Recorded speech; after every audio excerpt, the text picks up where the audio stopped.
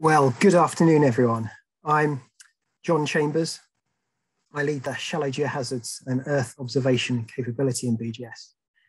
On behalf of my co-presenters, so Steph Bricker and John Mackay, will be introducing themselves shortly.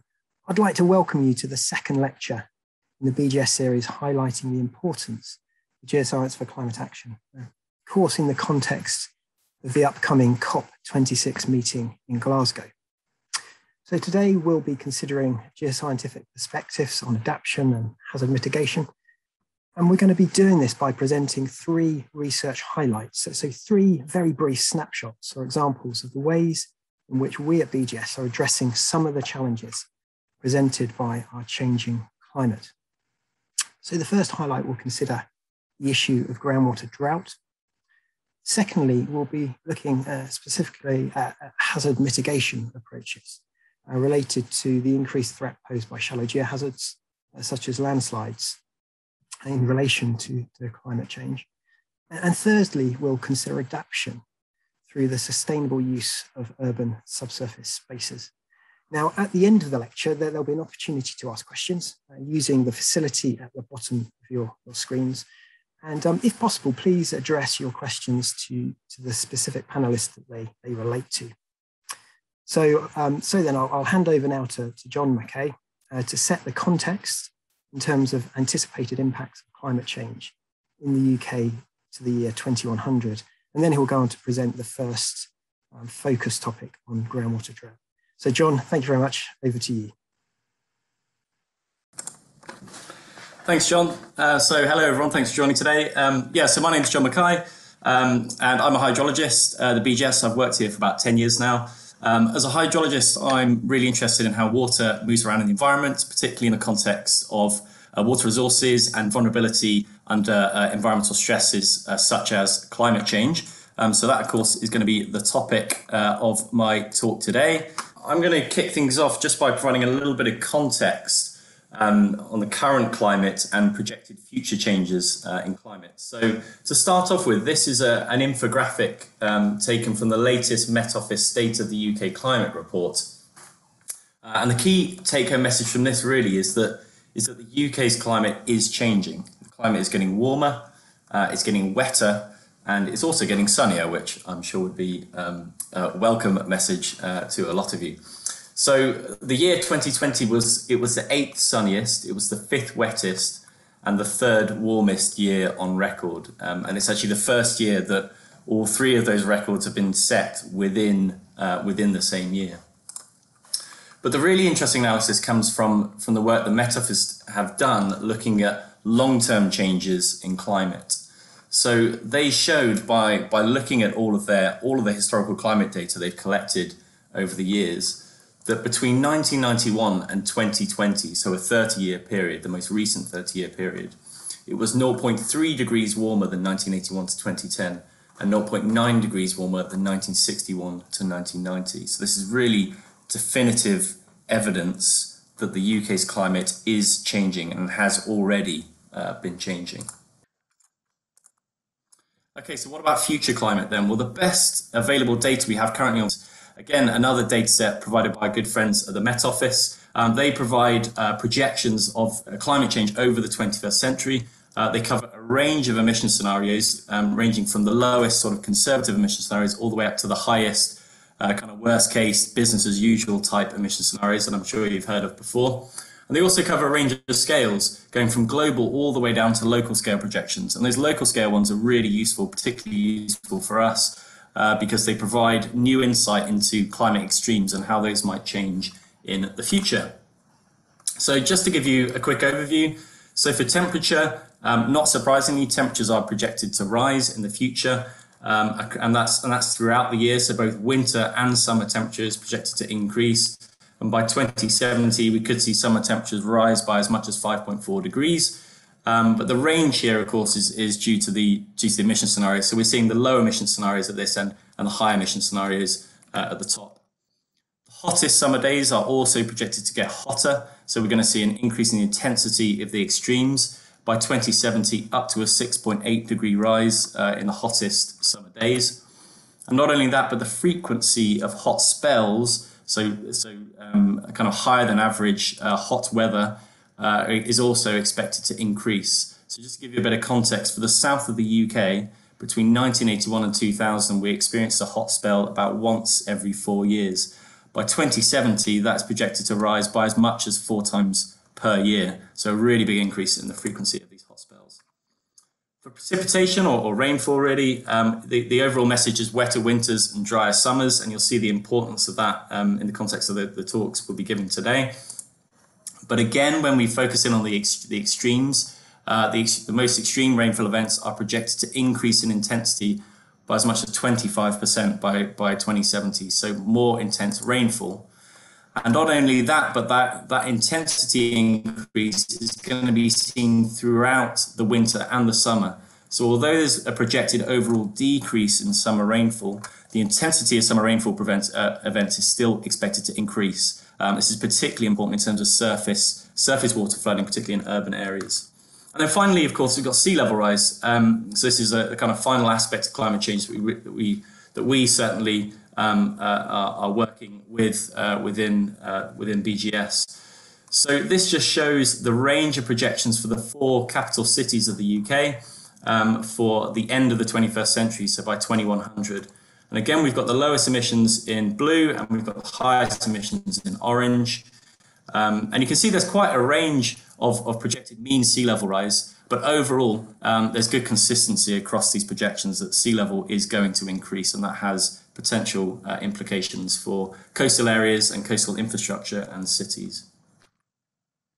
Okay, so that was just a quick overview of the of the UKCP 18 projections uh, produced by the Met Office. So now I'm going to go into the bulk of my of my talk, um, which is around groundwater drought. So just to give you a quick overview, I'm going to start off by trying to answer the question, well, what is groundwater drought? Um, and then I'm going to focus on these three main uh, uh, sort of research areas that we've been really summarizes the kind of work we've been doing at BGS uh, in recent years around groundwater drought.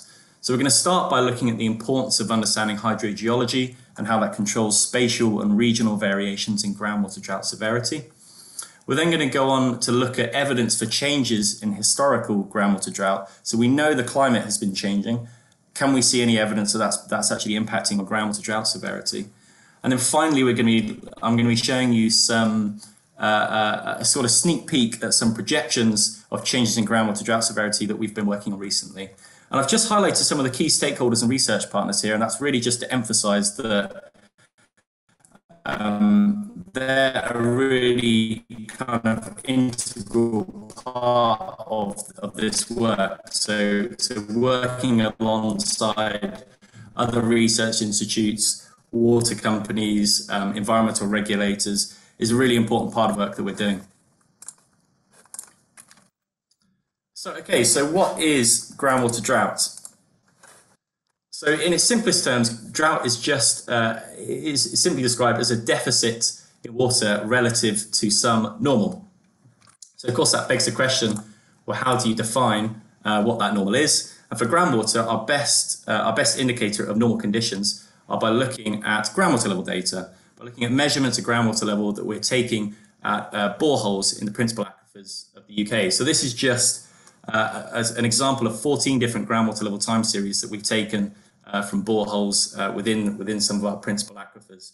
And by looking at those, of course, we can look relatively whether groundwater levels are higher or lower than average and then determine whether or not we are actually in a phase of groundwater drought. Um, and there are a number of methods of doing that. You could just simply define a threshold uh, and say anything uh, above that or below that threshold, we're in a drought. Um, but actually, we've developed a more sophisticated approach here at the BGS um, which is a statistical approach that allows us to standardize these groundwater level data into what we term the Standardized Groundwater Index, or the SGI. This is a really powerful tool um, because it allows us to take any groundwater level time series and then convert it into this SGI space. And this and the SGI has a, a, center value of zero. Now zero just means normal conditions, so that defines our normal. And then anything below zero we can define as drought. And by using that, we can then we can actually extract individual drought events and analyze them. So you can see them all shaded in here, everything below zero. And that's really powerful because it lets us firstly analyze changes in drought and drought characteristics over time, but then also analyze them spatially as well. So looking at spatial variations uh, in drought uh, uh, severity. So you'll see that I'm going to really draw on this, this SGI approach quite a lot um, over the next few slides. So this is so this is uh, uh, an image uh, um, taken from a study led by my actually one of my colleagues, John Bloomfield, here at the BGS. Um, and they took a bunch of groundwater level data in Lincolnshire, and you can see all the boreholes uh, here, all of these black dots. Uh, and all of these boreholes are situated in three principal aquifers. So we've got the Lincolnshire limestone here in orange, uh, we've got the chalk in green, and then we've got the Spilsby sandstone formation in blue. And they applied a cluster analysis to try and group these boreholes into similarly behaving uh, uh, boreholes. So essentially with similar uh, sort of groundwater fluctuation behavior. And this is this is an image of, of the uh, of, of the clustering they did, uh, and they came up with these six clusters, and you can already start to see some kind of regionalization uh, of, of kind of similarly behaving boreholes. And if we plot the SGI uh, uh, time series of these different clusters, and I'm just going to focus on the three largest clusters, um, we can immediately see just by looking at them and, and by extracting the droughts, which are shaded in here, we can see how different they are. So, so it's, it's, so they're clearly coming, they're clearly behaving in different ways. Um, so we've got the the northern uh, limestone in this blue this blue cluster here, uh, which seems to have lots of kind of relatively small drought events. And then if we look at the, the chalk in green uh, or the southern limestone in yellow, they seem to have much larger uh, drought events. And we can actually look at those, those drought characteristics in more detail. So we can look at things like the drought duration, so the length of these, these drought periods, the magnitude of these droughts, which, which we define as the area um, of these um, shaded regions, and then the intensity of the droughts as well, which we define as the minimum SGI. And we can start to characterize the behavior of these different, these different regions. So, for example, the, the northern limestone uh, cluster up here is characterized by lots of relatively short duration, but relatively high intensity drought events. Whereas in the chalk, it's characterized by more uh, uh, longer duration uh, um, uh, groundwater droughts and some very high magnitude but lower intensity droughts.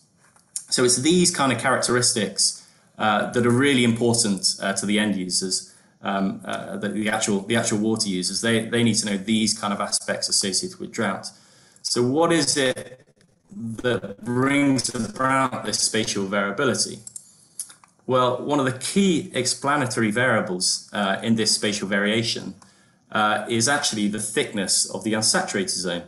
So the unsaturated zone um, you can think of as uh, uh, the region below the ground surface uh, extending all the way down approximately to the water table. And what we found is that the thicker the unsaturated zone is, that tends to result in these, these longer duration, more slowly responding groundwater systems. Uh, and you can you can kind of reason with yourself as to why that might be. If you've got a relatively thick unsaturated zone, it takes much longer for water to percolate through that and get into the groundwater system. So it should it should result in these kind of longer uh, uh, these, these longer duration events. But the unsaturated zone is also implicitly linked to other characteristics of the, of the hydrogeology. So things like the aquifer permeability, things like the aquifer thickness, um, uh, and also surface topographic uh, groundwater drainage features such as rivers and springs. So this really just highlights that the hydrogeology has a really important control over spatial variability in, in groundwater drought characteristics. And therefore, if we want to understand regional groundwater drought behavior, we need to understand uh, the hydrogeology as well. Okay, so I showed you uh, towards the start of this talk uh, um, evidence that we that there has been a change in climate uh, over recent years.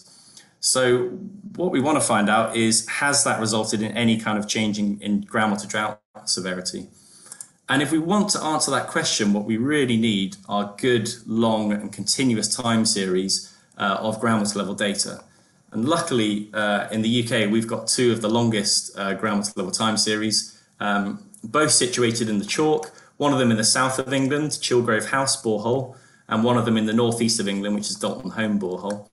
And both of them have groundwater level data extending all the way back into the 1800s. So these provide a really valuable source of info changes in, in groundwater drought behavior. So this plot here um, appears uh, pretty confusing to start with. Lots and lots of dots, lots of colored, colored dots. Actually, what these are showing, each of these colored dots corresponds to a month in the historical groundwater level data in which this, this, these groundwater aquifers were in drought. Um, the yellow dots indicate relatively moderate droughts. The orange dots indicate more severe droughts, and then the purple dots indicate the most extreme, the most severe droughts of all. And if we go from left to right along these plots, what we're looking at, at different time zones. So we're looking, uh, in the first one, we're looking at uh, between 1891 and 1932. And then we extend all the way to the right and we're going between 1974 to 2015. So as we go from left to right, we're going from the past up to present day. And you can see the first obvious observation is that the number of these colored dots is increasing as we go from left to right. So the number of drought months is increasing. Um, but what we can also see is the color of these dots is changing. So we can see more of these orange and more of the purple dots uh, than we can see in the past. So not, not only are the number of drought months increasing with time, but the severity of those droughts is also increasing. So this really provides a, a, a clear evidence that drought severity has changed uh, historically. The key question, of course, is why is that? So if we want to answer that, we can look a little bit, a little bit more detail at these plots. Um, and along the x-axis here, we've got, so we haven't plotted the standardized groundwater index, but we've plotted the standardized precipitation index. Um, and essentially anything that's lying on the left-hand side is in precipitation deficit. So if you look at all of these dots, almost all of them appear to be lying on the left-hand side of the plot. And this immediately says to us, uh, uh, precipitation deficit is almost a prerequisite to uh, to groundwater drought. So you need a precipitation deficit to induce groundwater drought. So an obvious conclusion for this would be, well, it must be then that it's been getting drier over time. So we've been getting less rainfall, and that's why we're getting more droughts and they're getting more severe. Well, that's not the case. If you look at the rainfall records at, at these regions, they they there's no systematic trend uh, in the rainfall data. However, we do know there has been a systematic trend in temperature.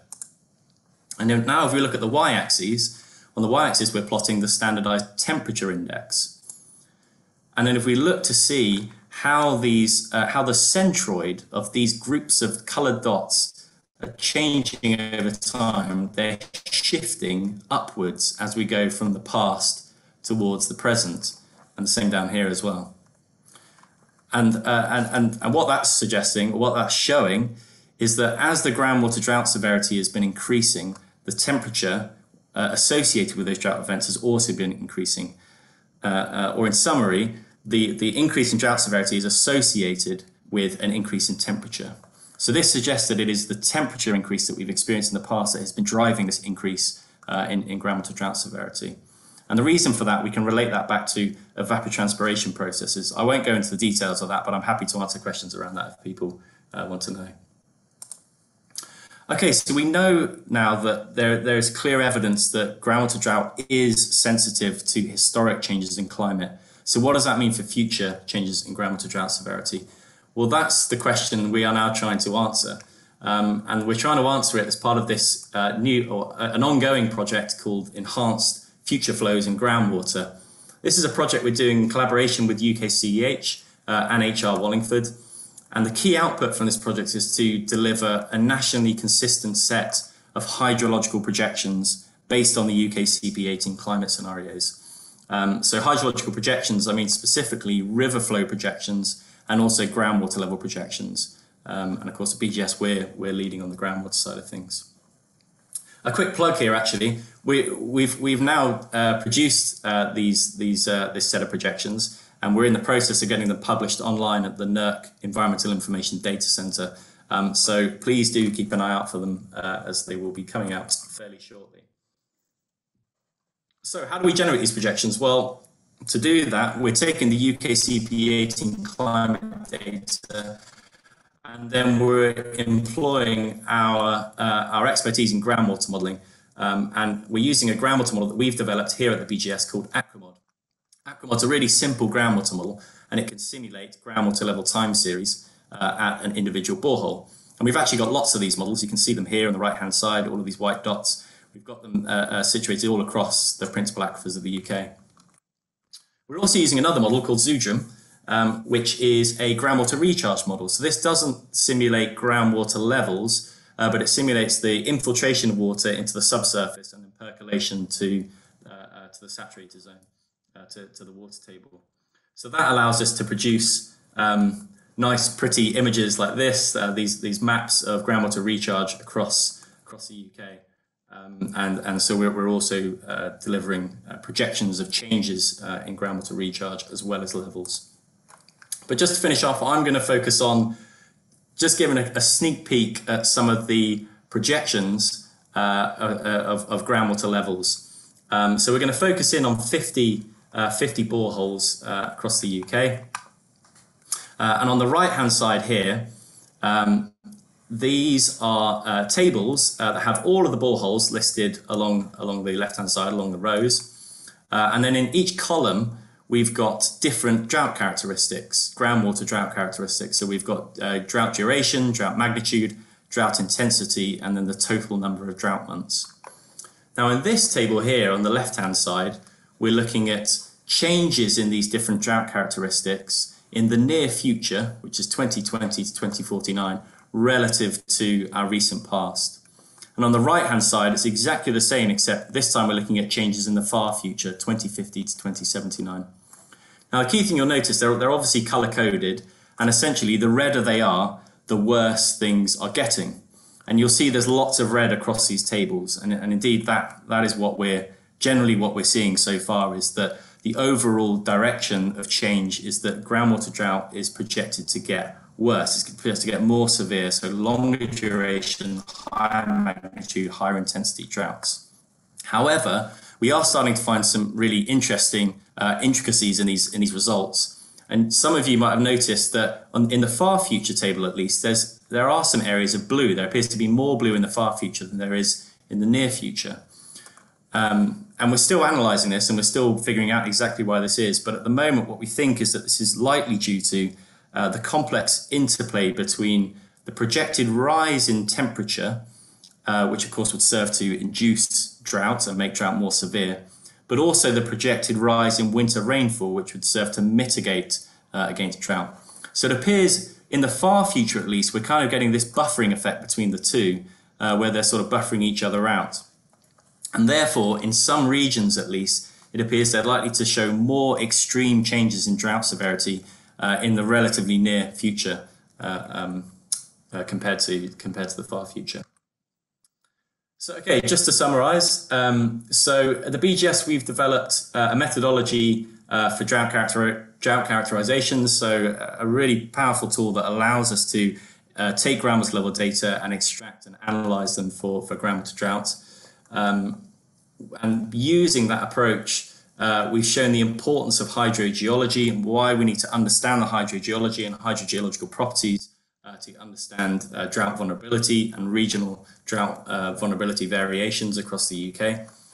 We've also shown that um, there's a, a, strong association be between historical climate warming and uh, an increase in drought severity.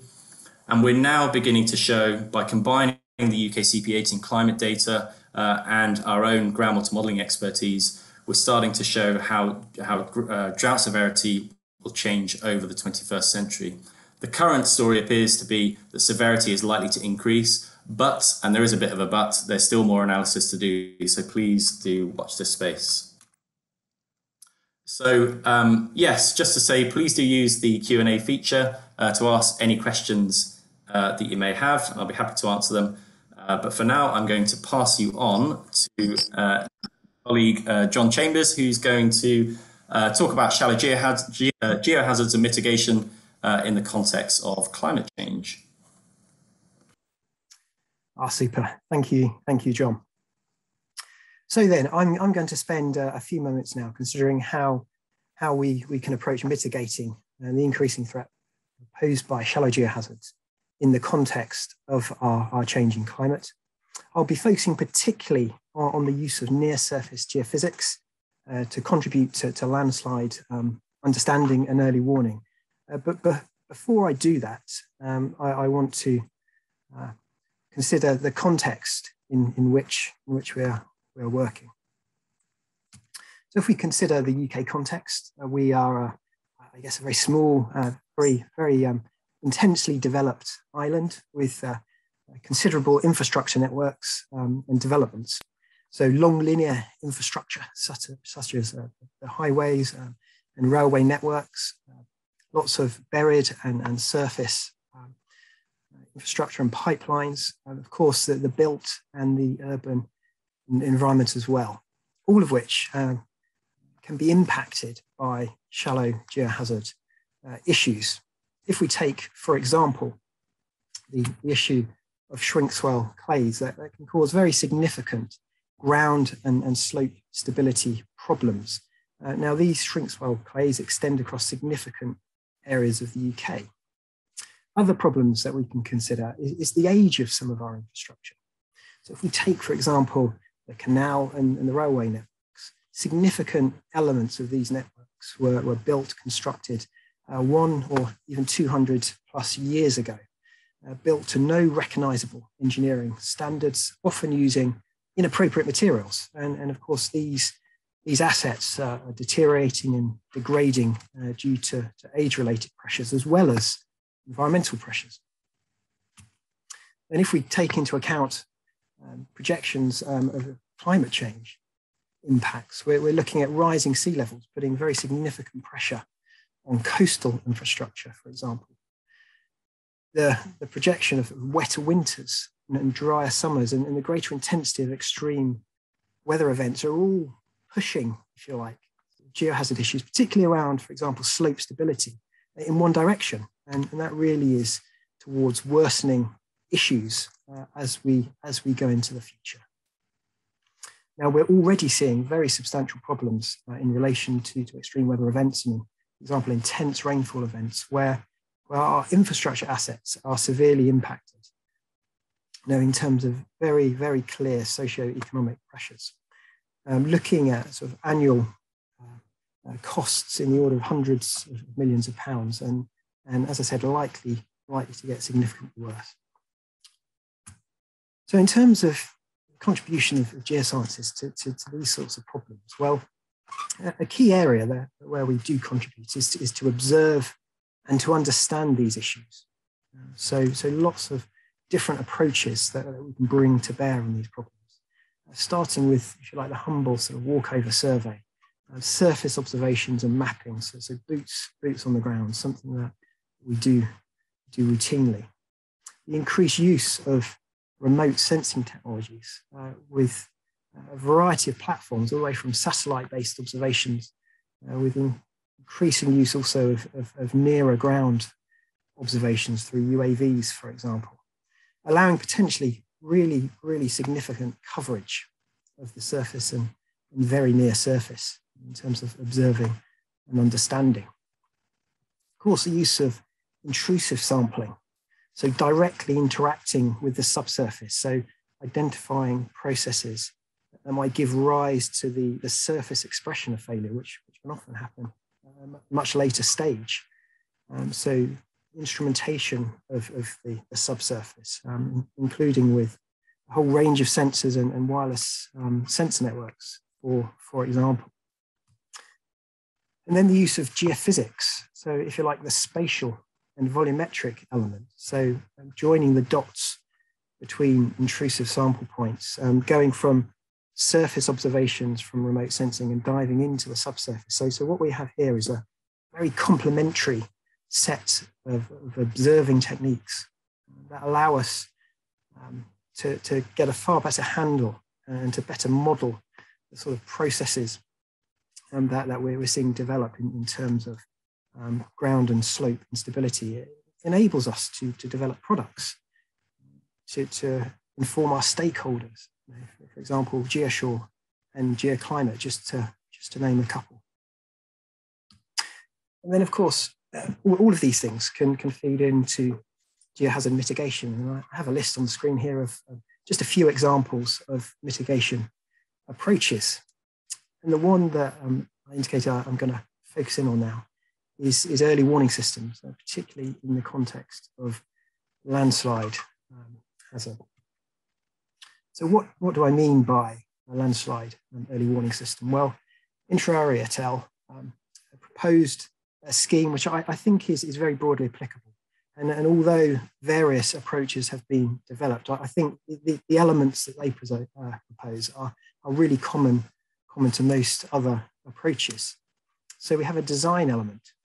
So it's, it's, it's designing our monitoring approach, um, our early warning approach, based on knowledge of the problem, you know, to understand the problem that we're seeking to address. Uh, and this, this might include geological and environmental information in terms of the context. And then in terms of the monitoring itself, it's bringing observing capabilities, whether remotely sensed or in situ type monitoring to bear uh, on the problem at hand. And then the forecasting to look at the, the changes that we're observing, physical property changes, changes um, in, in, in, conditions to try and anticipate uh, future problems, uh, generally on the basis of thresholds when we see certain property thresholds being exceeded, indicating the point at which we might anticipate um, slope failure events. And then to, to educate, to communicate, to inform, to, to, to, to let those people um, who, who, need to make decisions or who are directly impacted, um, to, to, to, provide them with the information they need in order to, to, uh, to, to, plan um, their, their response. Now, these sorts of um, approaches, landslide early warning systems, can, can operate across a range of scales, uh, from regional all the way down to slope scale, and can be as simple as uh, maybe a network of rain gauges um, uh, across an area. Um, but as detailed as a heavily instrumented slope, lots of subsurface sensors. And, and it's the latter um, that I'm going to focus on more for the remainder of the talk.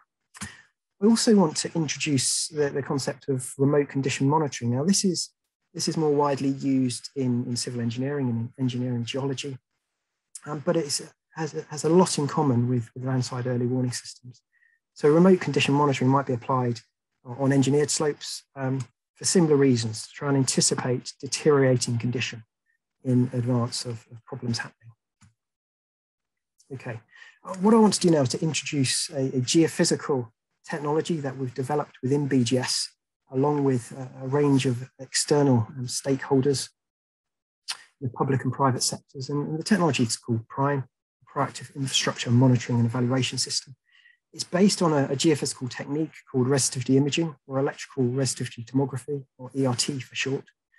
Now, using this approach, we deploy our sensor networks, typically at the ground surface, allowing us to non-invasively image into the ground.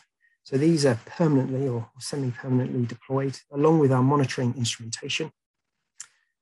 We control and communicate um, uh, with the system using typically the, the, the mobile phone network, 5G, uh, where we can retrieve data and then use an automated processing scheme to, to generate our time-lapse images of the subsurface. Now the automation, the data processing is really key here, where you have multiple sites streaming in very large data sets. It's impossible to manually process these data, particularly if you want timely um, response to, to changes uh, at monitoring sites. And then of course the delivery of information, in our case via web dashboard uh, to, to stakeholders. Just a few more words about the geophysical technique that we're using, so ERT.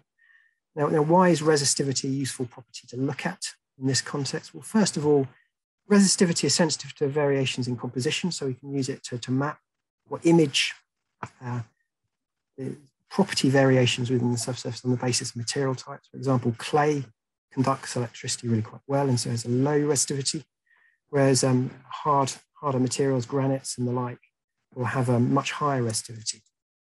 They're, they're, they're not able to pass electrical current so, so, so well. Now, the technique is incredibly sensitive to changes in moisture content. So a lot of current flow in the subsurface through the pore fluid. So as we can see from this plot here, as we reduce the, the moisture content here, gravimetric moisture content, as we reduce the moisture content, so resistivity increases. And on that basis, resistivity is widely used um, uh, for, for hydrogeological problems. And we've also developed a scheme whereby we can detect ground motion um, by looking at the electrical signatures. So our grid of electrodes, as shown here on the right-hand side, and effectively also serves as a motion sensing grid. So, so lots of reasons for using this technology um, for, for looking at slope stability problems. And in terms of the innovation here, really the innovation is, is the, the production of low cost instrumentation that can be powered using just um, a small solar panel um, with the automated workflow to go with it. So if you like an end-to-end monitoring system. Now, how does this, this work in, in terms of our concept of landslide early warning? Well, in, in terms of design, we have to uh, deploy our sensor arrays in conjunction with, with other sensing approaches. One, one never uses geophysics in isolation. Um, based on um, our knowledge of the problem, we, we design our, our installation to address the problem at hand. In terms of the monitoring, we have both the hardware and the software components, both critically important. And then based on our ability to observe the subsurface processes uh, potentially linked to slope failure events, uh, we, we then identify uh, appropriate thresholds um, beyond which to, to take action communicated via um, a web dashboard. So two, two very brief examples of, of, of using this sort of approach.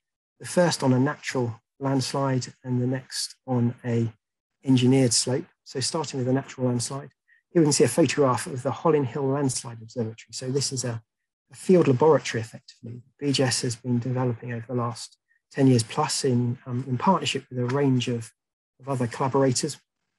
It's situated on Lias Group uh, mud rocks.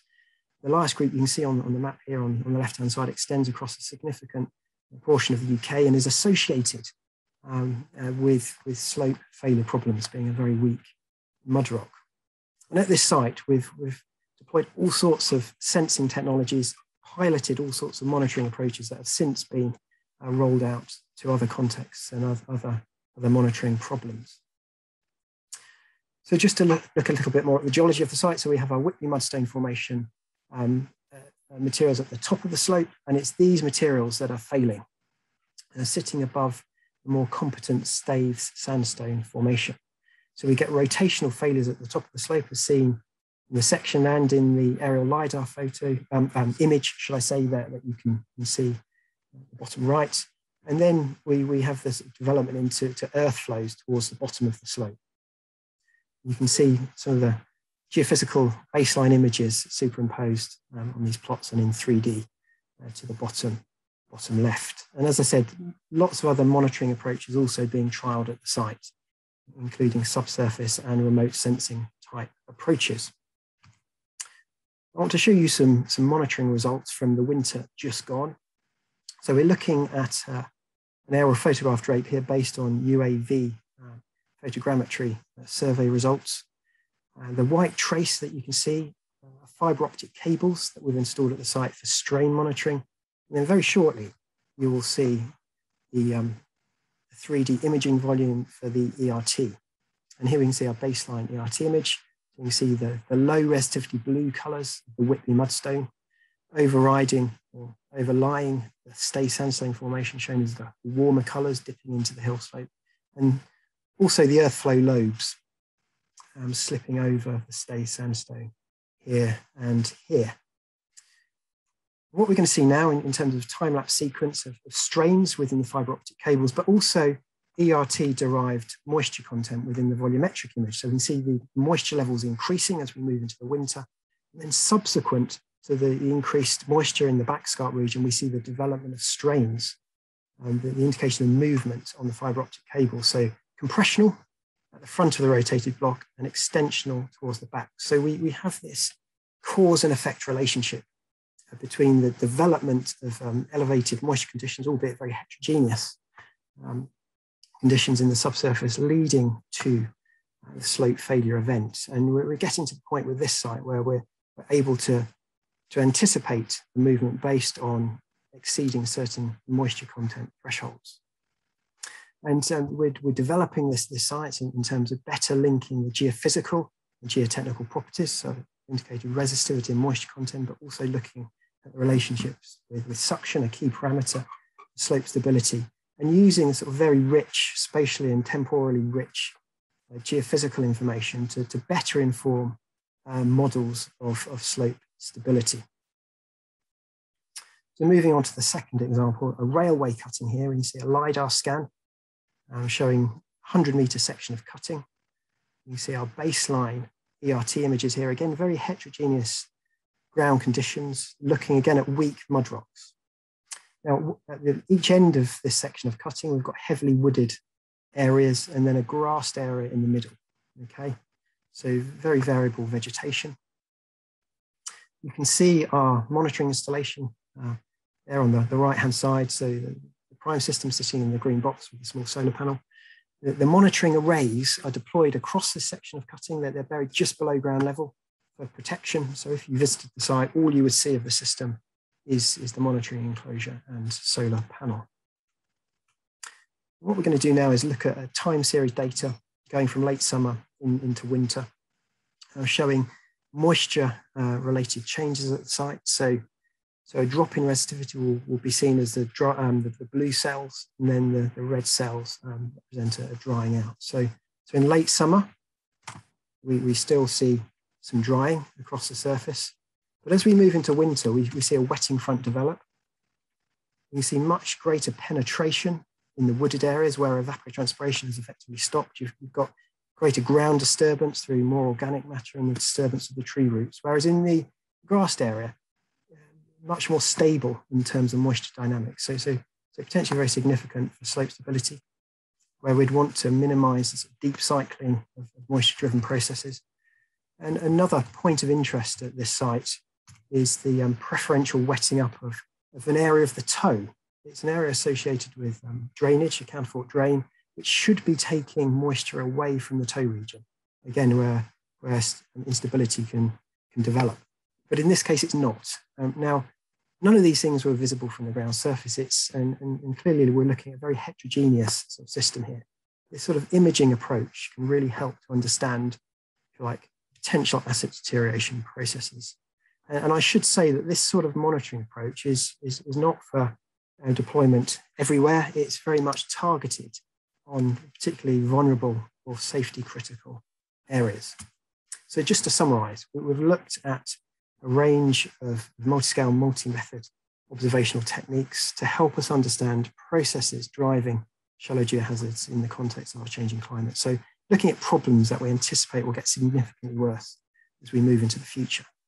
And what these sorts of approaches are enabling us to do are to shift more and more towards intelligent, proactive monitoring. So providing, if you like, real world solutions in support of geohazard mitigation.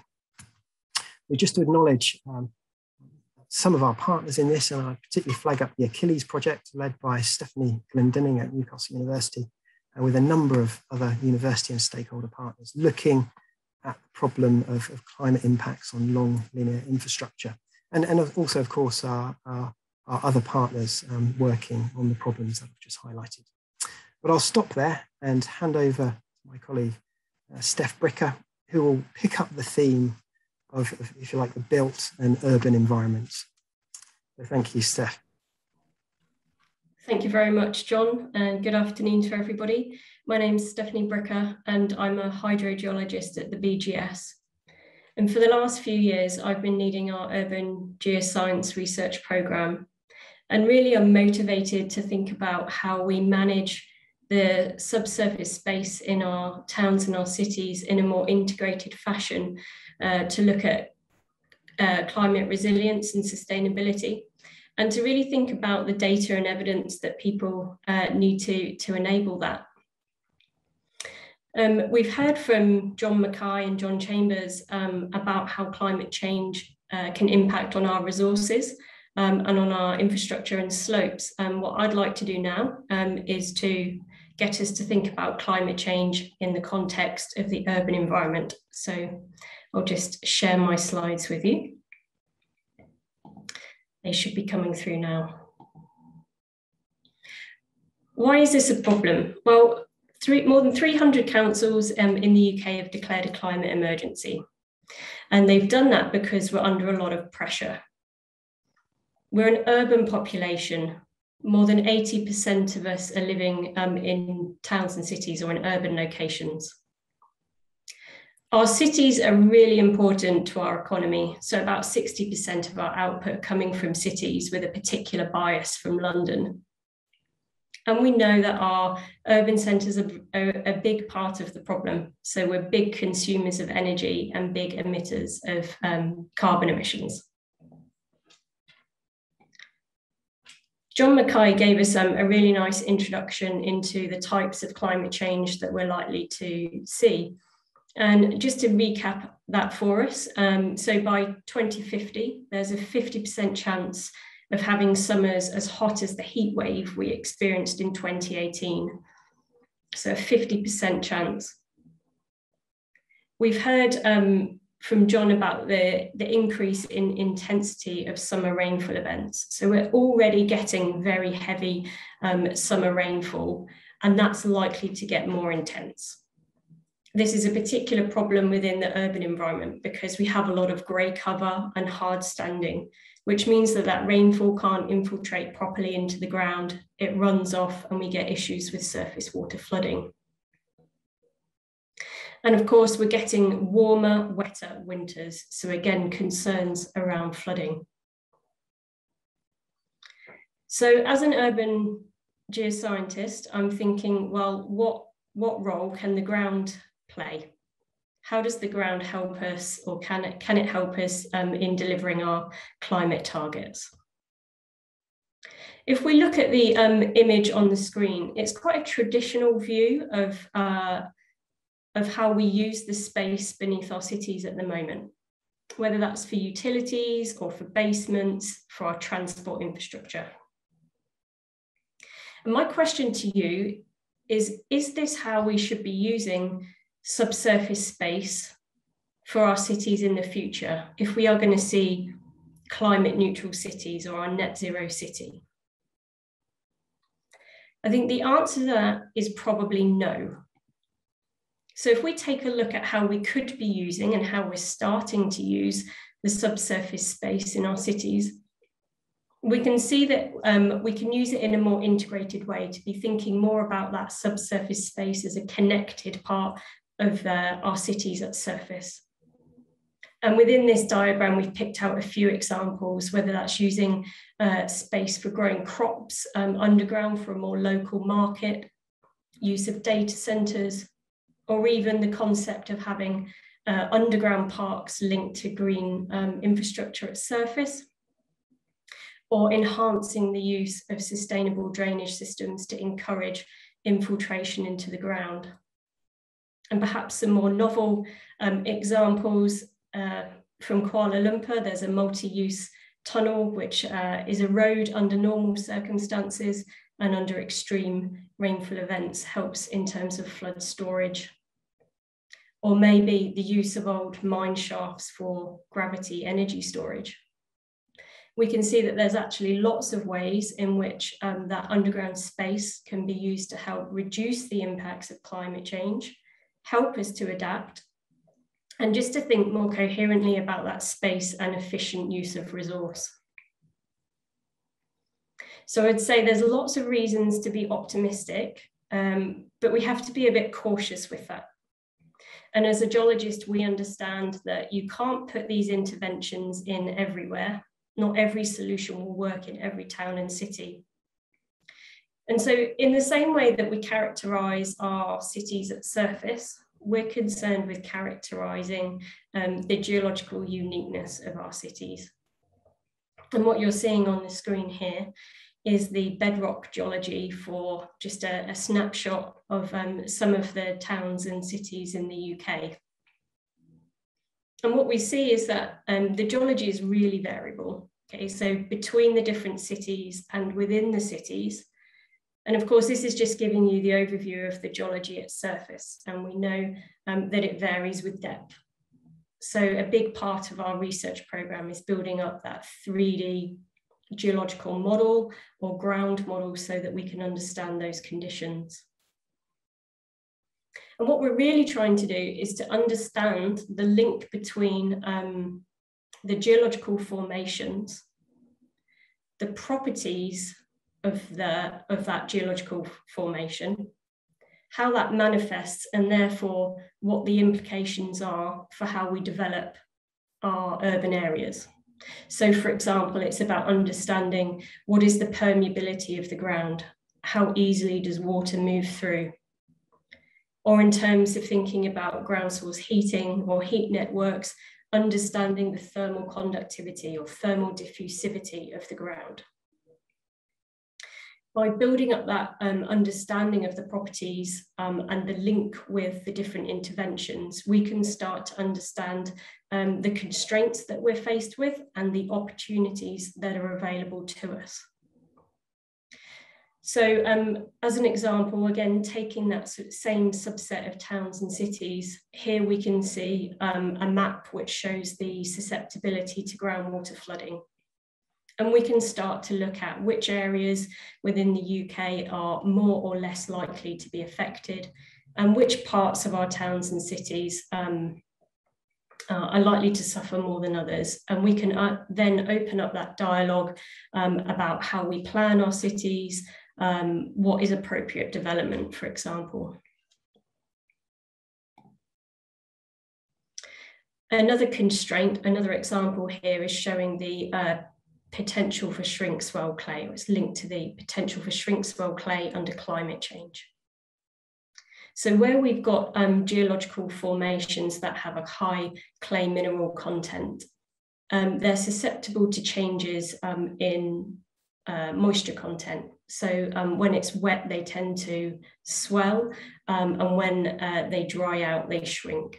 And that um, shrinkage and swelling um, is a particular problem in terms of ground instability, differential settlement, um, causing uh, subsidence or damage to our buildings and our infrastructure, which um, John Chambers has mentioned.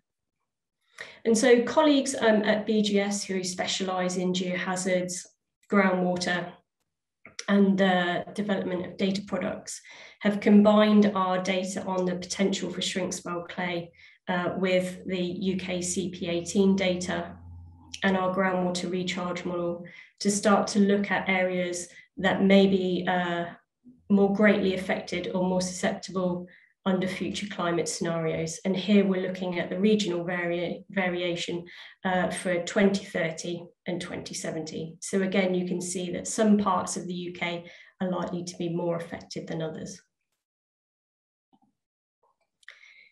Of course, it isn't just about constraints. What we want to be able to do is to look at those opportunity areas. Um, and just one example here um, is showing the opportunity to install infiltration sustainable drainage systems or SUDS. Um, and this is where we want to encourage rainwater um, into the ground, reduce surface water runoff and reduce the impacts of flooding. And again, we start to see um, areas more or less affected.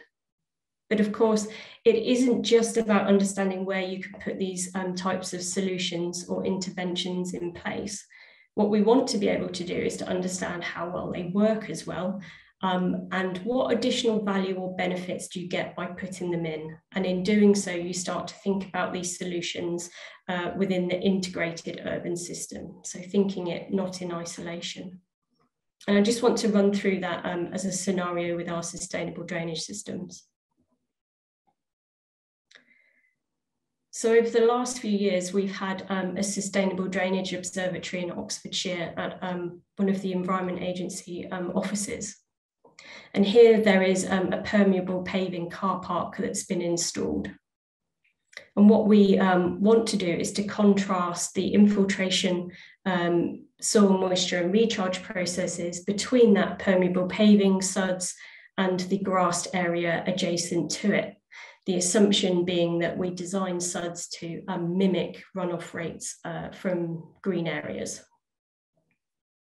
So what um, we did at the observatory was to install um, uh, a series of soil moisture sensors at two different depths beneath the sud system and beneath the grassed area to contrast the two. And um, these were complemented by some pre-existing uh, groundwater level monitoring wells. I'm not going to go into a huge amount of detail, but just to contrast um, the scenario where we had an intense uh, summer rainfall event. So I think it was 30 millimeters over the hour.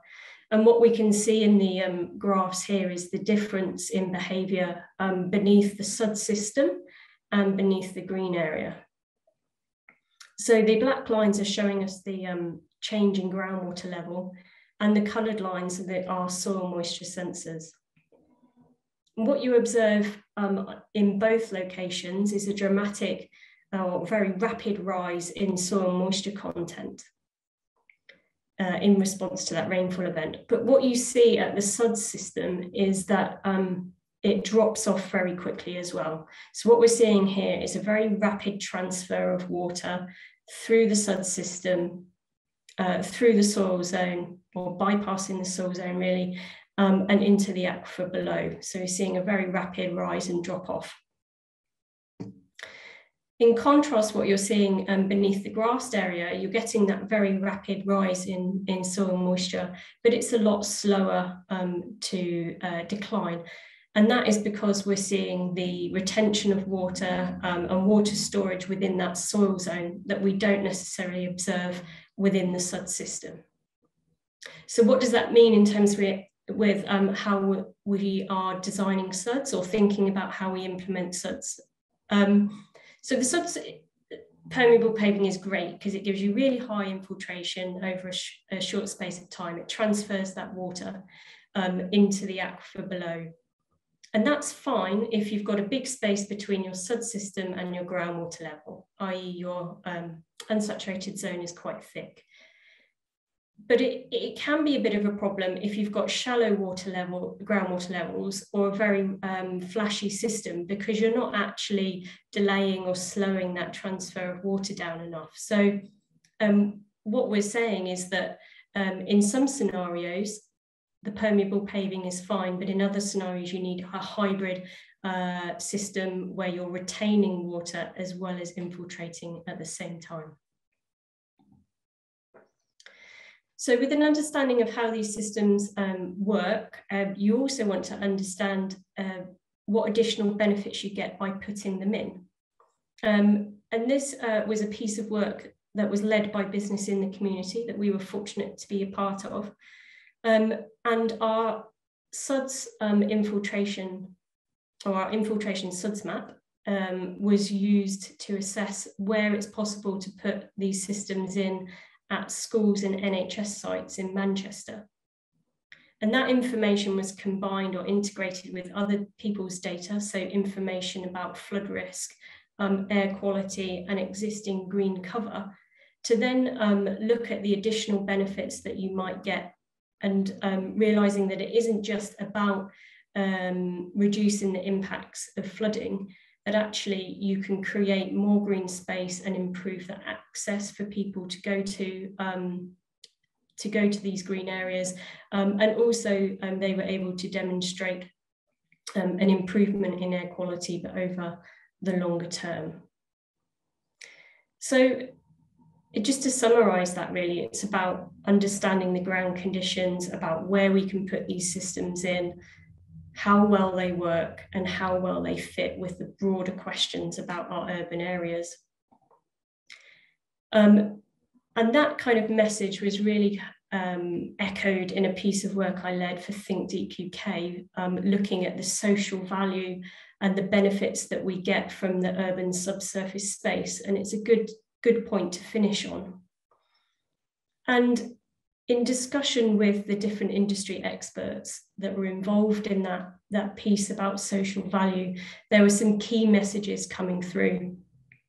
Um, and it's about defining the baseline, making sure that we have a good evidence base uh, to make our decisions. Being really mindful about how we're likely to want to use that space into the future um, and being mindful of these new innovations that are coming through. It was recognizing that we have really good technology, really good innovation, and it's about how do we demonstrate that at scale and reduce, uh, improve the confidence in these systems. But perhaps that the um, overriding message that was coming through was about this kind of move from just thinking about individual projects and the cost and how they're financed to thinking about these broader um, value, broader benefits um, that you can get when you actually think about the subsurface space in a broader, connected um, way that is matched to how our cities function at surface. Um, so just uh, a big thank you uh, to some of our partners who've helped um, on this work um, and links to our references. And uh, final plea that if you have any questions, please use the Q&A feature. Um, and at that point, I shall hand you back to John Chambers to wrap up for us. Thank you, Steph. And um, thank you very much indeed for, for all of you dialing in. Thank you for your attention. Now, as Steph said, we're, we're, we're now able to take questions um, using the Q&A function. Um, and as said before, if you can address them to specific panel members, uh, that would be really helpful. I know that's slightly complicated by the fact that we've got two Johns um, on, on the panel. Now, any questions that we, we, we don't have time to answer today, we will attempt to give written answers after the event. Uh, but what I'll do now, I'll, I'll, hand over to my colleague JP from BGS Comms, who is going to read out some of the questions so we can all, all hear them. So JP. Great, thanks, John. Well, the good news is we've had quite a few questions coming in as you've been speaking, so I'll, I'll get started with um, Jonathan Mackay, who said the longest to, to recover after his, his talk. Um, and the first question is, how have changes in extraction levels been accounted for in the long-term drought data? Yeah, okay, so um, yeah, I, I, probably should have pointed this out actually in the talk, which is that, um, that all of those boreholes that we're looking at um, are are ones that we've chosen specifically because they're not um, significantly impacted by uh, abstractions. So um, yeah, I, I, think that's that's that's actually one of the challenges we face, which is finding those relatively natural uh, groundwater records that we don't have to. Yeah, so, so, so that so that abstraction isn't significantly affecting them. So all of those um, all of those analyses, looking at historical data and also the projection data that I showed you, are all uh, focused on boreholes which aren't significantly affected by um, abstraction. Of course, abstraction is a key, um, yeah, is, is, is, a really important factor uh, when, when thinking about groundwater drought. But for this, we're just looking at uh, natural, natural systems. Great, thanks, John. Um, we've got another question here, this time for John Chambers. Um, it, does the speed of moving between periods of higher groundwater and near surface water to drought have implications to geohazards? Uh, yeah, that's that's a really good question. Um, a lot of the sort of slope stability problems and sort of shrink swell problems that we've we've alluded to and, and, and are, are, very very clearly uh, water related. You know, I, I think where where you have the, the, the, very rapid sort of saturation of materials, you know, and the resultant loss of pore suction, you, you can get a very, very quick loss of strength in the material, giving rise to, um, to slope failure. So that's, that's significant. Um, and in terms of going between sort of very wet conditions and drought conditions, um, I'd also um, sort of think in terms of sort of fissuring, for example, the landslide systems that we look at very often are, are fissured due to a combination of clay shrink swell in very dry periods, as, as well as um, the, the, movement of the landslide. And, and where you, are going from maybe a very dry period with a significant development of fissures, um, then a period of intense rain, you effectively get short circuiting of moisture to, to deeper levels um, within the landslide, uh, which, which is, is, clearly a, a potential um, problem in terms of slope stability. And then, if you like, cycling in general between um, sort of elevated water levels, very wet conditions versus versus drought.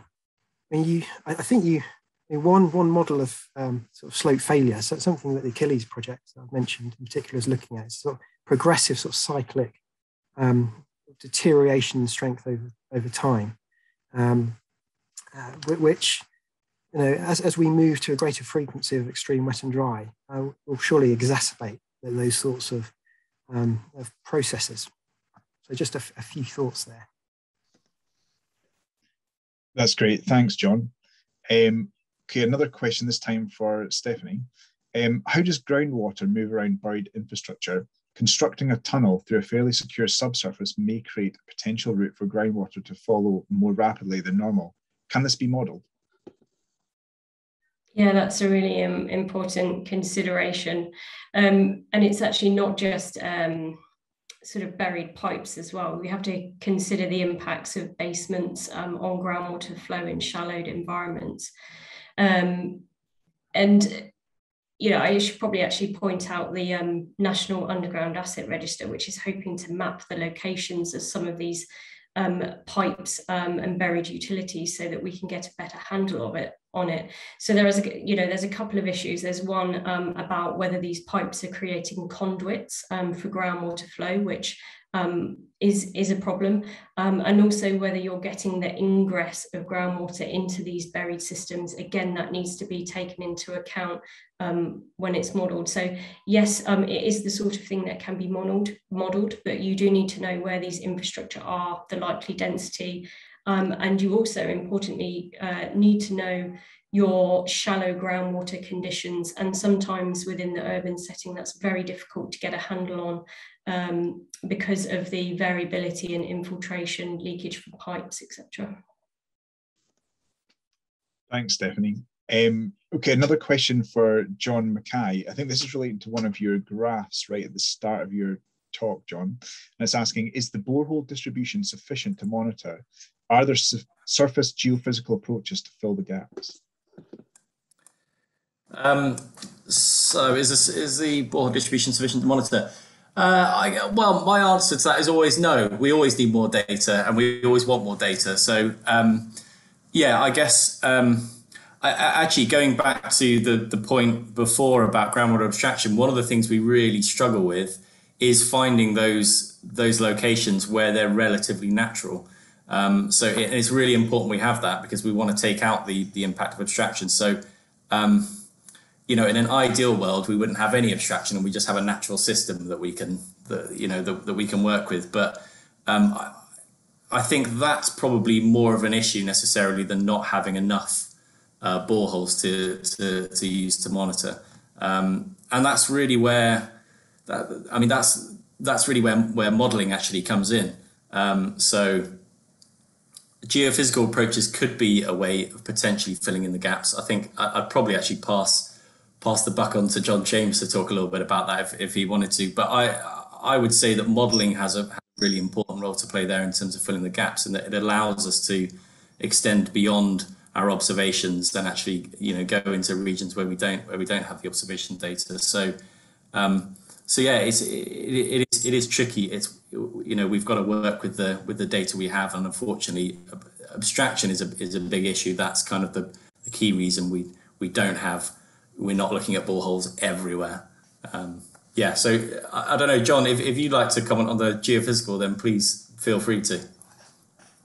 Yeah, yeah, I, I can comment on that. I, and I think the short answer is, is, is yes. Uh, surface geophysics or, or cross borehole geophysics um, can can have a role to play in this. Uh, I'm, I'm slightly biased, um, being a sort of a geoelectrical um, specialist, but, but given the sensitivity of of, resistivity, for example, to, to changing moisture conditions. Um, it provides a, a, good basis on, on, on, which to use those sorts of approaches to sort of spatially image um, uh, groundwater levels, for example, um, uh, unsaturated zone processes as well, um, to, to complement, and I'd, I'd stress complement um, borehole-based approaches. I mean, there's always a trade-off.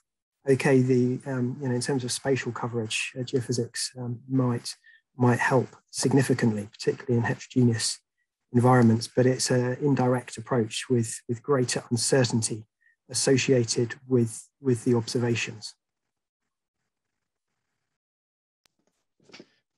Great, thanks both. Um, John, this, uh, sorry, Jonathan Chambers, um, a question here for you. How well do the sensor arrays withstand landslides themselves if when they occur? For long-term monitoring of sites with frequent landslides, is this a problem? And if so, how do you plan for it? It's certainly a problem. Uh, the, the, geoelectrical and, and, and fiber optic uh, techniques that I've, I've, mentioned are vulnerable uh, to being ripped apart when when the ground when the ground moves. So so how, how do we deal with this? Well, there's a, there's a, few thoughts here.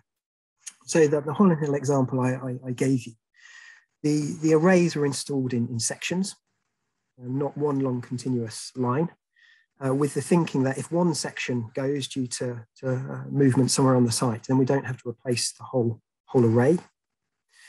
Uh, we've built slack into the system um, so that the uh, arrays can accommodate um, significant movement, in fact before they before they break. And if I think we, we installed the, the early early systems um, at Hollin Hill, the resistivity based systems back in 2008. Um, we've had to replace one or two sections on one or two occasions. And that's despite the landslide in areas having moved more than five meters, you know, in terms of displacement. Uh, another, another reflection, and particularly as a researcher perhaps, that I'm, I'm really open, and we're really happy, you know, to, to deal with with broken arrays um, if we can capture you know um, landslide events and the precursor processes uh, building up to it you know in, in order for us to better understand better calibrate our, our techniques. So so so yes I, I, hope that's that's gone some way to, to answering that, that question. Great. Thanks. Thanks john. Um, a question for stephanie this time what are the implications of the changing climate for proposed surf, subsurface energy storage projects such as CAES, compressed air energy storage, or gravity storage? Great question. Um, I'll admit it's not an area that I, I work on actively, so I think that's probably a question we'll take back to our colleagues. But I do think we need to be really mindful of the fact that we are seeing, uh, you know, a lot of um, different and novel uses of subsurface space. And we're really aware about um, the potential conflicts between those different uses and protecting the use of subsurface space for more strategic kind of um, public good activities. Um, which you know is something that's really important in terms of having that coordinated subsurface planning. I think in terms of looking at the impacts of specific um, projects, we probably need to be doing better in terms of collecting baseline data to understand the full impacts of um, different uses. So things like having uh, good information about uh, the geotechnical properties, groundwater levels, um, temperature sensors, for example. But yeah, let's take, take that question away and get some more detail about the specifics of energy storage. Great, thanks, Stephanie. This is probably a good point to point out that a recording of this presentation will be available in the coming days, and any questions we don't have time, we will put in a document PDF format alongside that recording. So, and that includes answers that we're not able to fully give because um, it may require input from colleagues. Um, so, another question here for uh, Jonathan Mackay. Um, are there any correlations between flooding events and the ending of drought periods? Do drought periods potentially drive increased flooding impacts when it starts to rain? Could we suggest that flooding is made worse after drought periods? Yeah, in fact, I think I, I was just um, having a quick browse. I believe there is a study that's recently come out about this, but I couldn't find it in time. So, um, yeah, I, I, I, think we can say that. Um, it's known that after prolonged uh, dry, hot periods, um, the ground surface effectively becomes, well, I think the technical term is baked, um, and, and effectively less permeable. So what you can find is you get these long, hot, dry periods followed by, and if that's followed by intense or relatively intense rainfall, then you can get, um, because of that reduced permeability, you're then getting an increased risk of, of surface water flooding. Um, so certainly for surface water flooding, I think yes. Uh, in terms of groundwater flooding, you would argue that, well, actually, it could be the opposite because you're kind of reducing the, the surface permeability and therefore you're reducing the potential recharge um, to the subsurface. But yeah, my my my overall answer is yes. I think you could say there there is some association between that. I, I'd be I'd quite like to follow that up actually with a couple of pointers to relevant literature on that. But um, yeah, really interesting question. Uh, a very short question here for you, uh, John Chambers, um, and it says trees good or bad for hydrogeology and slope stability? Um, yeah, I, I, I, don't know. I, I um, be very tentative um, in, any response I give here. And the short answer is I, I don't know. Um, but, but going back to the example that I provided um, of the, the, railway cutting um, and the contrast between the moisture dynamics in the grassed area versus the, the wooded area, we, we do see a, a, very, very substantial difference.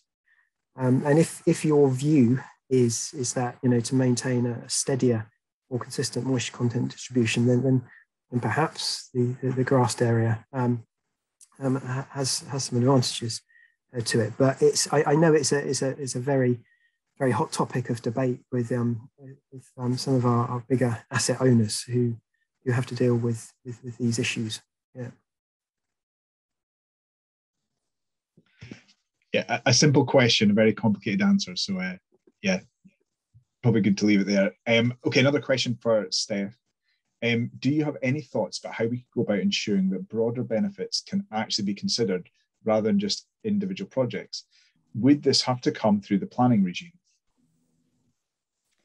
Yeah, that's a really um, yeah really interesting point. And actually, the we have the um, Social Value Act in the UK, which is trying to encourage um, the kind of broader environmental, social uh, benefits that you derive from projects. And what you see is that implemented across large um, schemes. And as part of that process, what they're trying to do is to encourage dialogue in at very early stages amongst the communities that are going to be affected. Um, so it gives um, a really good opportunity to bring together the um, different stakeholders, the local community, um, as part of that conversation. Um, and I think as geologists, as um, envir- you know, experts in the environment, uh, we need to make sure that our information and evidence is available at that stage um, and that it's well communicated um, so that we can start to have these um, kind of broader discussions about value and benefits in the longer term rather than just sort of looking at an individual project with defined um, physical boundaries. Thanks, Stephanie. Um, okay, another question for Jonathan Mackay. Is the SGI work on drought prediction being done elsewhere, where impact of climate change may be more problematic than the UK or Ireland, where I've also seen this done recently? Yeah, so yeah, the answer is yes, it is being done elsewhere. Um, so, admittedly, I mean, it is still uh, a relatively new area of research, I guess. So, so admittedly, a lot of the work that we've done so far is focused um, on the UK, but there is, I, I would actually point the um, the the person that asked that question if they search for the European groundwater drought initiative. Um, that is a wider sort of drought analysis, drought initiative, which is looking, which is getting groundwater level data across across Europe. Um, so uh, yeah, so, so the idea is bringing lots and lots of lots of groundwater level data across across the European countries, and then using the SGI to look at spatial coherence and temporal coherence of, of groundwater drought across yeah across there. Um, beyond Europe, uh, I don't want to say no because there might be someone doing that at the moment, but the, but as far as I'm aware, I think it's I think it's UK and Europe, but there could there could be some additional work that I'm not actually aware of at the moment. Thanks, John. Um, okay, question for Jonathan Chambers this time. Um, given climate change, why are we not more proactive in obtaining baseline laser scan data for the UK coast, especially in soft rock or areas of superficial deposits? Uh, I, I, should say up front that I'm not a coastal specialist and I'm not a LIDAR specialist um, either. Um, so I'll, I'll again, I'll, I'll, limit my response there. Um, but I, I, I, certainly appreciate the, the, the, thrust of the question in, in that you know, the, the coastal zone is, is of, of critical importance, particularly when considering um, rising sea levels. I suppose um, what, what, I've come to appreciate um, with, with my work in terms of infrastructure, uh, including engagement uh, with, with people responsible for, for looking at flood defences and the like, it's just the, the considerable resource that there's already there in, in terms of airborne LIDAR, covering very significant portions of, um, of the UK. Uh, I'm not in a position to comment on whether or not Um, you know, we've got a particular lack of it within the coastal area, but, but certainly um, for, for, certain infrastructures and in certain areas, the, the holdings are, are remarkably good. Thanks, Jonathan. Um, okay, question for Jonathan Mackay. Um, do you see there being a need to significantly reduce the amount of the abstraction in the future? Oh. Uh, yeah, that's a tricky one. um, yeah, I guess. Uh, I mean, actually, I, so I'm I'm not sure to be honest. I'm not certain. Um, but I would kind of play devil's advocate and say there might be an argument to to argue the opposite that actually we should be increasing. We might need to increase groundwater uh, abstraction in the future. Um, and the reason for that being that groundwater is um, uh, a relatively slowly responding water store compared to surface water stores, so whether they're reservoirs or, or rivers or whatever.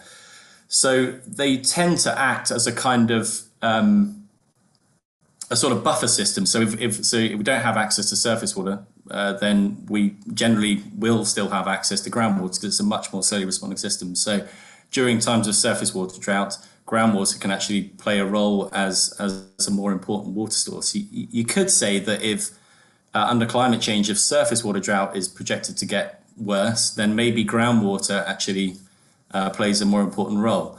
Um, so the, my answer is I don't know, but um, I just want to put that out there as a, as a as a as food for thought. Really, I don't think it's necessarily a case of abstracting less. Um, it, it could actually be the other way around. Thanks, John. Uh, okay, a question for Stephanie. Um, you mentioned the importance of having baseline data to assess urban subsurface use. What data should we be collecting? Yeah, it's really important. Um, within our urban areas, uh, that kind of zone of engineering or, or construction is, is quite the shallow zone. Um, and in terms of geology, if we think about the scales at which we monitor, we tend we tend to have less information um, about that, that top zone. Um, so there is a real need to uh, collect more baseline data about what is in the ground in terms of the, the physical structures. Um, and we are making some headway with that. I know the Geospatial Commission are looking at um, the establishment of the, uh, the National Underground Asset Register. Um, but in terms of uh, the geology, things like um, understanding ground temperatures, understanding very shallow groundwater levels, looking at um, levels of infiltration uh, or infiltration rates so we can get a better handle on urban recharge, I think is an important area. Um, and actually, I think as a science community, thinking about how we can um, uh, better sense uh, or have sensors um, in that space. So could we make better use of embedded sensors on infrastructure, on, on buildings to help us with that? Or are there opportunities um, for citizen science to gather um, more data on our behalf? Um, and actually, I should say, you know, that the um, the private sector, geotechnical consultants, geoenvironmental consultants are collecting a lot of data themselves. So sometimes it's actually just about uh, better reuse or better collation um, of that data so that we have um, a better asset or evidence base uh, for everybody to make use of. Thanks, Stephanie. Um, okay, a question for Jonathan Chambers here. Um, what are the costs associated with setting up landslide early warning systems? going to vary dramatically depending on the nature of, of the early warning system. Uh, as I've indicated, you know, there, there, are lots of different approaches, lots of different sensing types, um, and, and lots of different scales.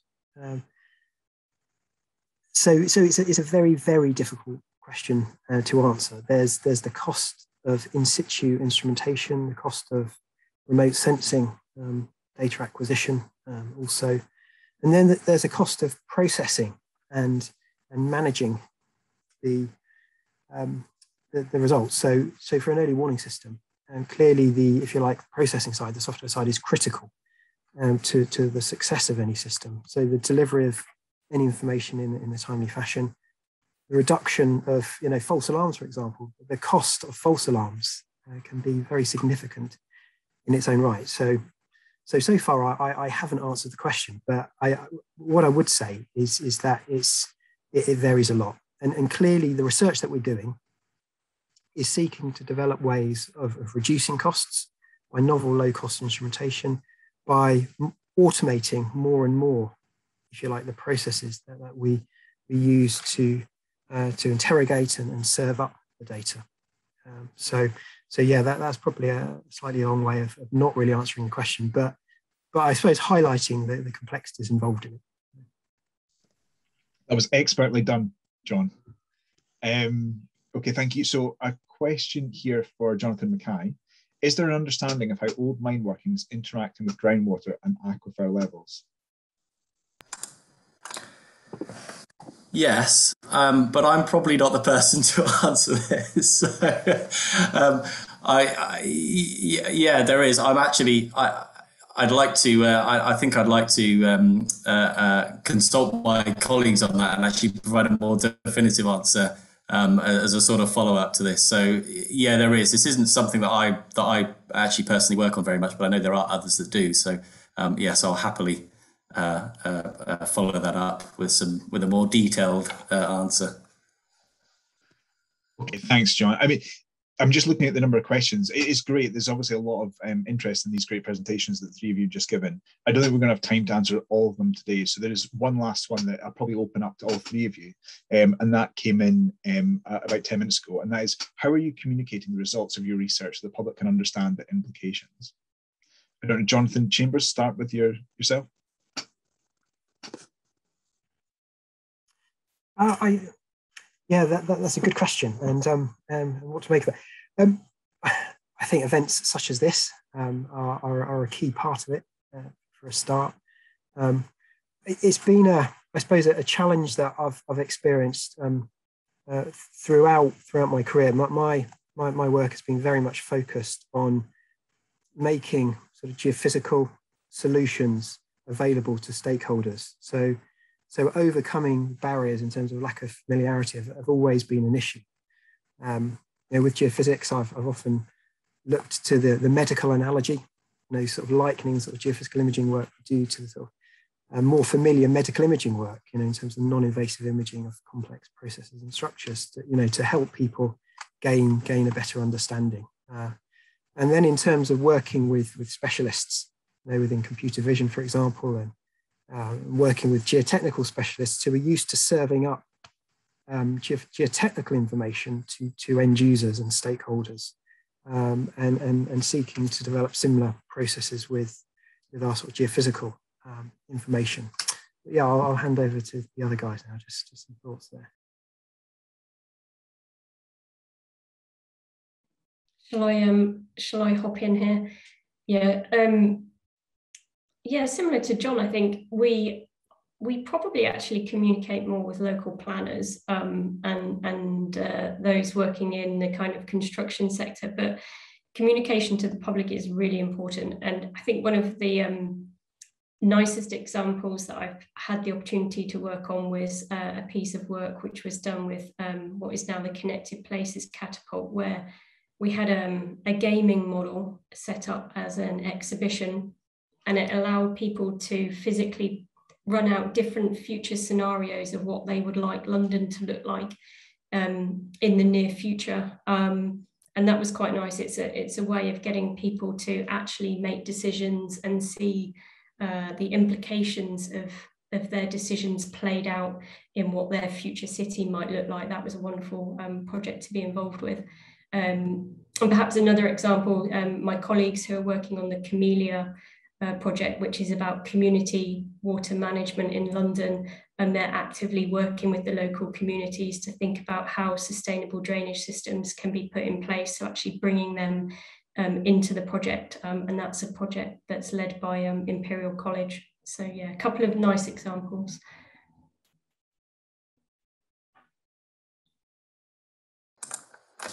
Yeah, I, I, I, think I'm yeah in general agreement with uh, uh, Stefan um, and John's comments. Yeah, it is. It's you know it's events like this um, there's I mean there's lots of things that we that we're kind of getting involved in. So you know BGS um, uh, open days that we have, which is where we kind of invite members of the public onto site uh, and they can see you know all the kind of work that we do. Um, our, our our com so we have a sort of a, a comms team at BGS that are really good at kind of encouraging us to put out blogs and and public lectures and things like this as well, um, which is yeah a really nice way of of kind of communicating communicating with the public. But um, yeah, I think it's it is um, yeah, it's something that we're still I think we're still getting better at, and it's something we probably in the past haven't done enough of. Um, but I think we're definitely on the sort of right trajectory to doing more of it. Just to give you an example of of one thing um, that we've done, which is related to one of the slides I showed you. If you remember, um, I had a, a, slide of our groundwater model AquiMod, um, which is kind of like a series of buckets. Um, so our hydrogeology team created an actual physical AquiMod model, which is a series of buckets filled with water, and you can you can watch it going through the various zones, and it's kind of a physical representation of of the model that you can actually play with. Um, so that's a really good way of getting you know particularly kids um, uh, involved and sort of you know engaging them with the science. So I think yeah, it needs um, it needs a lot of sort of thinking outside, thinking outside the box, and um, yeah, um, I guess coming away from desks and actually going out there and, and talking about things. So, yeah. Oh, thanks, John. Thanks, Steph. And as um, JP has indicated, our, our, time has gone now. Um, now, thank you again to my co-presenters uh, and, and, to JP for, for, setting the event up. And, thank you all for, for dialing in and for listening and, and for your, your, excellent questions. I really do appreciate that. And, um, and and of course, as we've said, this, this will be made available uh, after the event uh, online, along with answers to the questions that you have asked. So, so thank you very much again.